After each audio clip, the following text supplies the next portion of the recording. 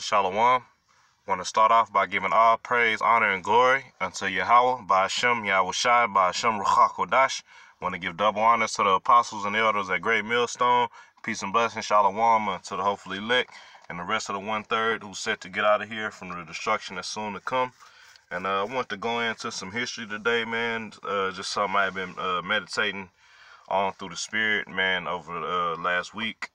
And um, it's pretty much it might be a start to a, a series, man, which I, I want to entitle uh, uh, "Biblical History Leads to uh, Biblical Prophecy," because when you go into the history of the scriptures, uh, you start to notice a lot of times that certain things that happen in the history uh, uh, connects to things that may be tied into uh, prophecy, or it just might be tied to future events that's gonna happen in the scriptures. It might not have been specifically prophesied but uh, say um, the story of Joseph, man, you look how the Most High set it up to where it started off with something negative uh, as far as his brethren, uh, all right, the other sons, uh, uh, setting him up uh, with Ishmael, and Ishmael selling him unto the Egyptians in, in the captivity.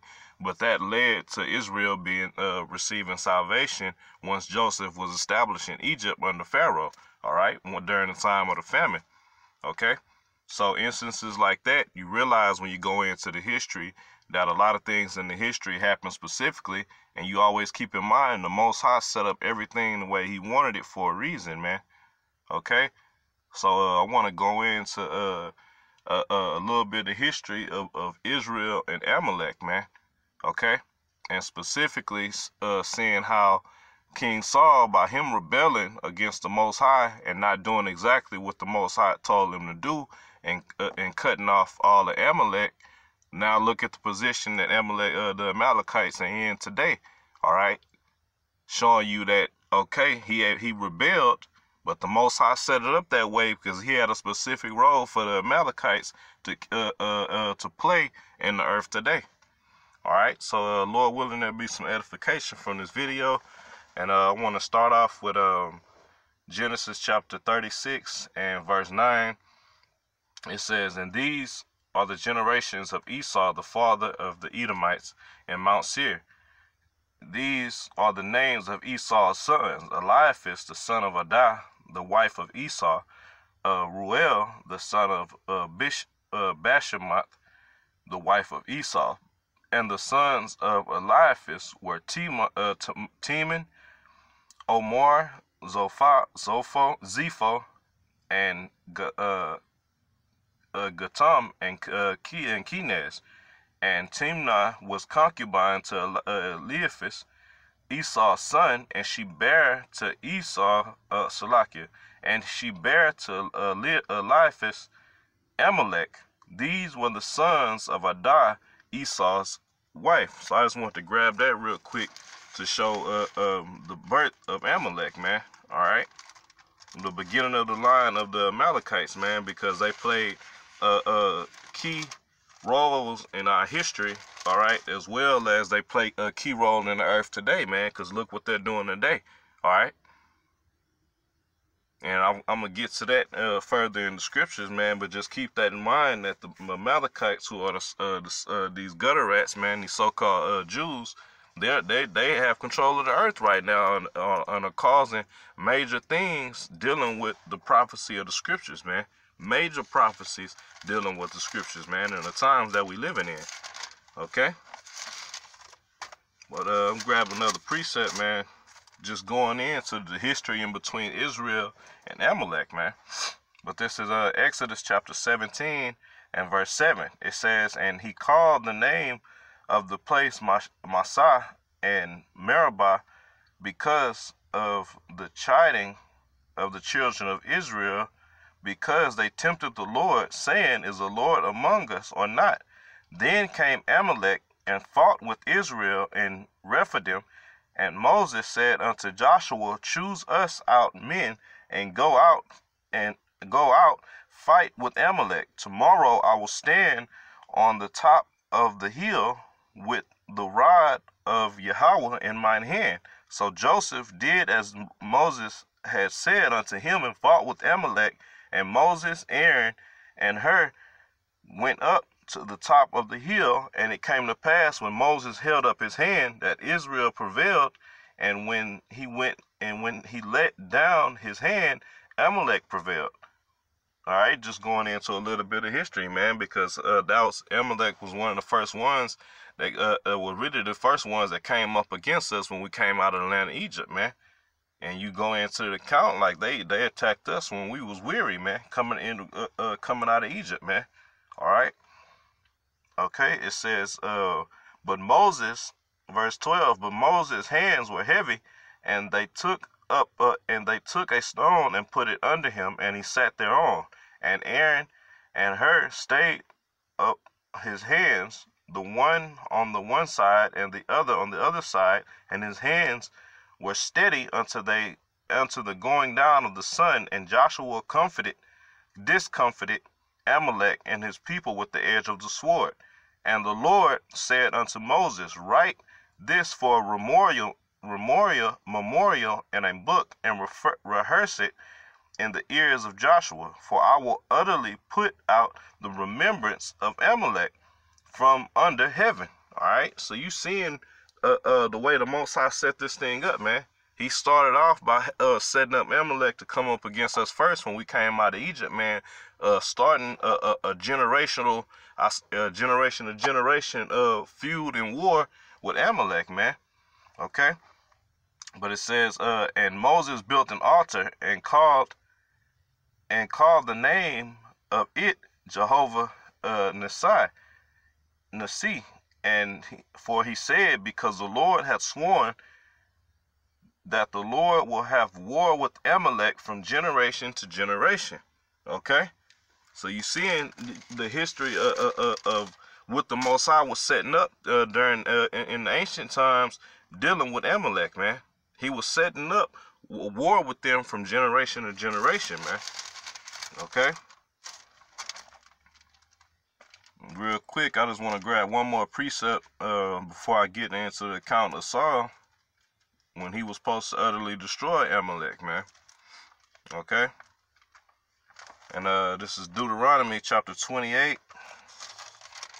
Salakia 25.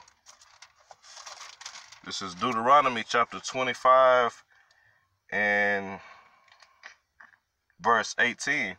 Uh, and I'll start up at verse 16. It says, uh, Deuteronomy 25 and 16, For all that do such things, and all that do unrighteously, are an abomination unto the Lord thy power. Remember what Amalek did unto thee by the way, when ye were come forth out of Egypt how he met thee by the way, and smote smote the hindmost of thee, even all that were feeble behind thee, when thou wast faint and weary, and he feared not Yahweh.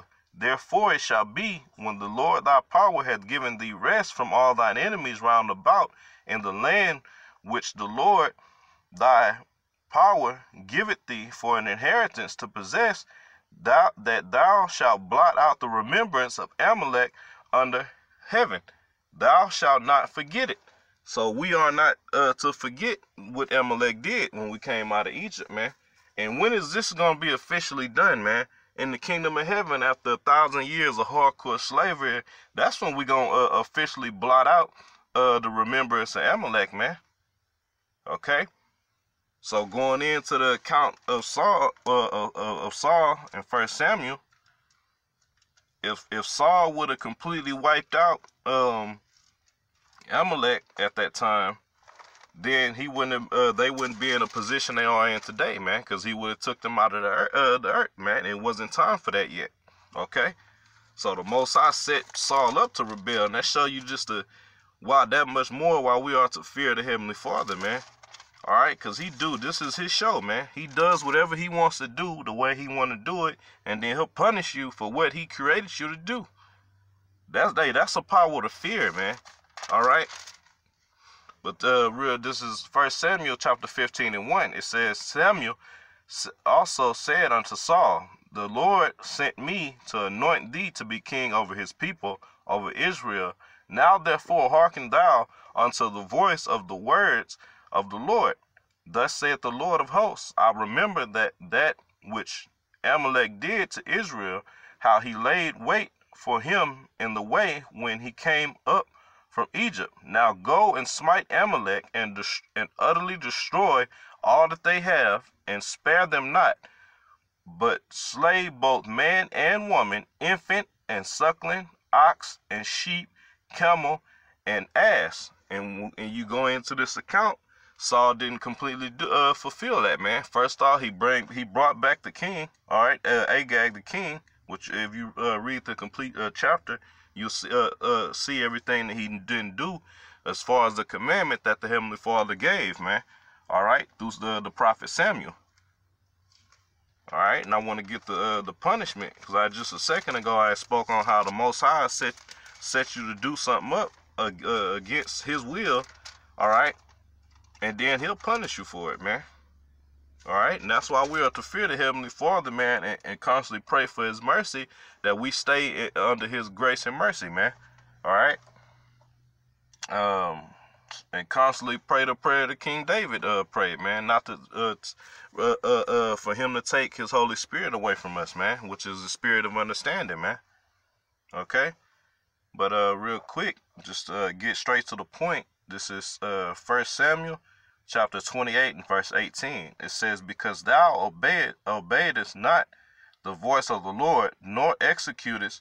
his wrath, his fierce wrath upon Amalek. Therefore hath the Lord done this thing unto thee this day.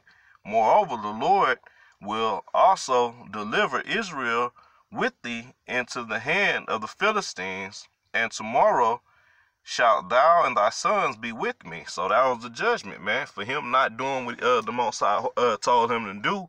He delivered uh, Israel and his uh, uh, uh, King Saul and his sons unto death, man all right, in, in the midst of battle. Okay? But it says, the Lord shall the Lord also shall deliver the host of Israel into the hand of the Philistines.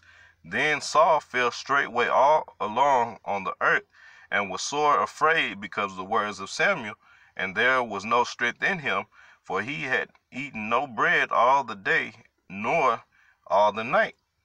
And I'm not going to finish uh, this chapter out, man, but that's exactly what the Most High did, man. What you read in verse 19, he delivered the host of Israel into the hand, which consisted of the armies and uh, King Saul and his sons uh, uh, into the hands of the Philistines, man. All right, as punishment for not keeping, uh, uh, uh, following the words that the Heavenly Father uh, told him to do as far as utterly destroying all the Amalek, man. All right, from uh, man all the way down to the very oxen.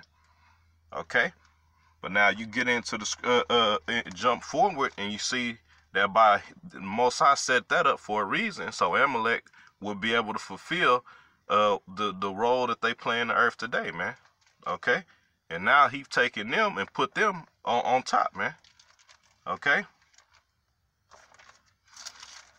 Real quick uh precept this is um daniel chapter 4 and 17 it says this matter is by the decree of the watchers and the demand by the word of the holy ones to the intent that the living may know that the most high ruleth in the kingdom of men.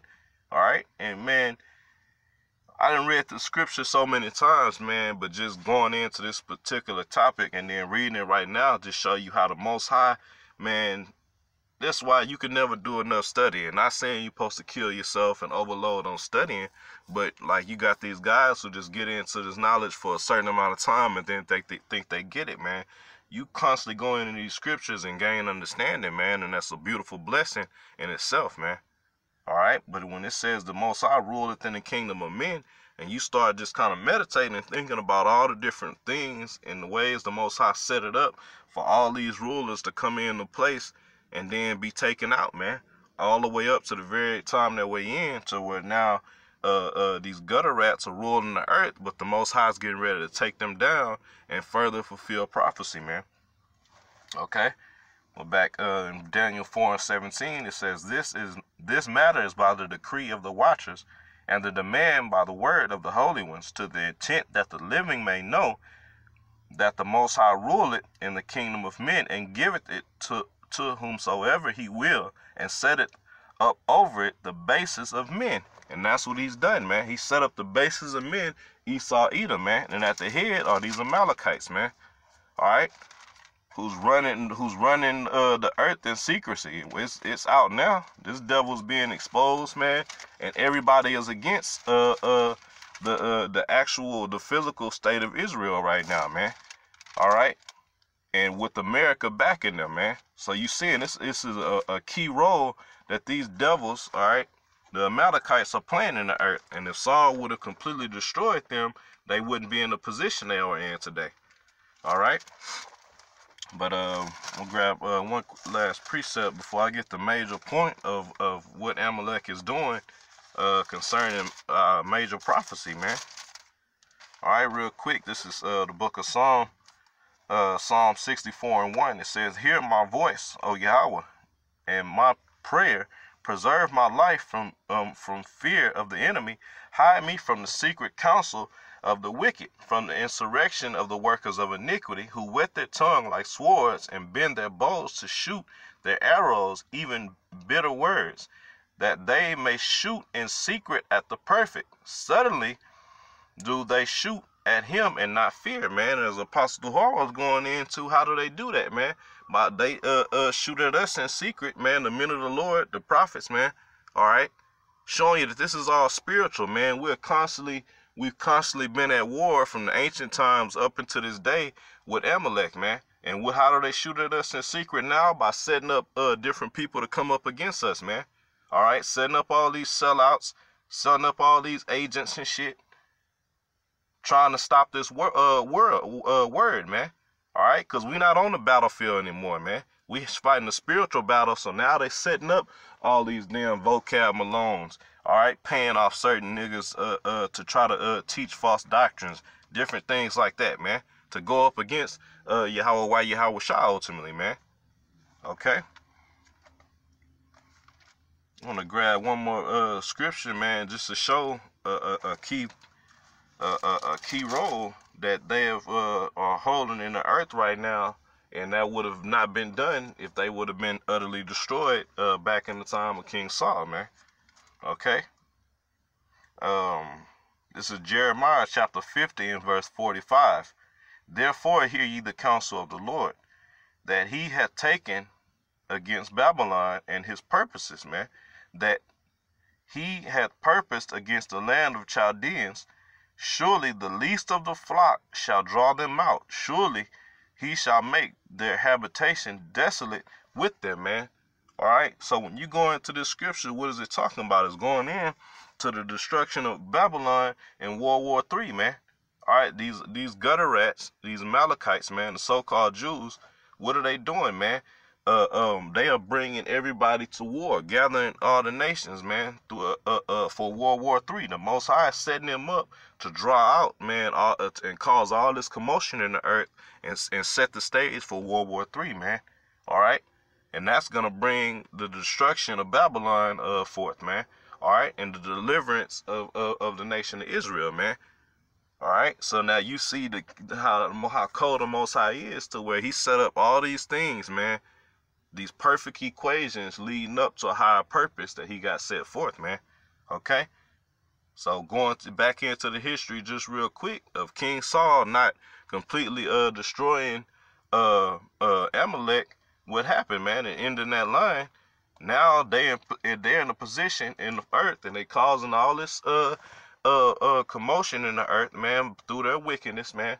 All right, and then got America backing them, which is uh the great uh great Babylon, the great whore spoken of in the scriptures. All right, and causing all the nations to prepare for war, man, and getting ready for World War Three, which is gonna bring in on the destruction that we waiting on, man on top of them being the ones that's uh, really behind the market, they're behind everything, man, concerning wickedness right now, man. They're the ones that's setting the stage for the mark of the beast, man. They're the ones setting up everything that's gonna bring the destruction of this place, man. Okay? So uh, I want to end it on that, man. Lord willing, there's some edification from this video. Uh, once again, giving all praise, honor, and glory unto Yahweh, by Hashem Yahweh Shai, by Hashem Ruach Double honors to the apostles and elders of Great Millstone. Peace and blessings unto the hopefully elect. Shalom.